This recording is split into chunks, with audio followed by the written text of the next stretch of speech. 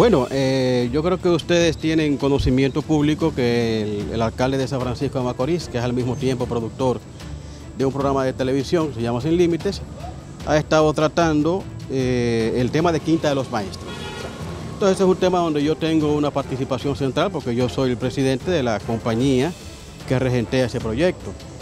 Le hemos dicho en más de una ocasión al señor alcalde que las normas éticas de la comunicación dicen que cuando él va a tratar un tema, hacerse eco de denuncias en contra de alguna persona, lo más normal es que primeramente busque la reacción previa para que entonces la población pueda edificarse completamente.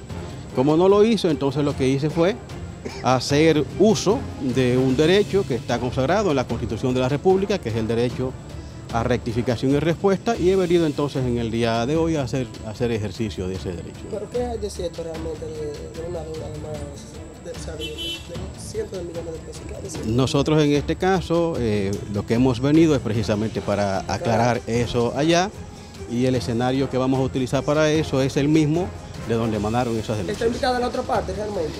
No sé cuál es la otra parte. La otra parte se supone que es el alcalde de San Francisco de Macorís, que fue el que emitió la información. Conversamos con el alcalde Alex Díaz. Él insistió en darnos cinco minutos de tiempo para el programa.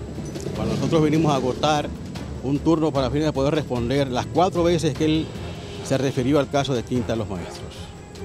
Lo que significa que el cobarde, poco hombre y prevaricador alcalde de San Francisco de Macorís volvió a hacerlo. Nos veremos él y yo en los tribunales. Muchas gracias.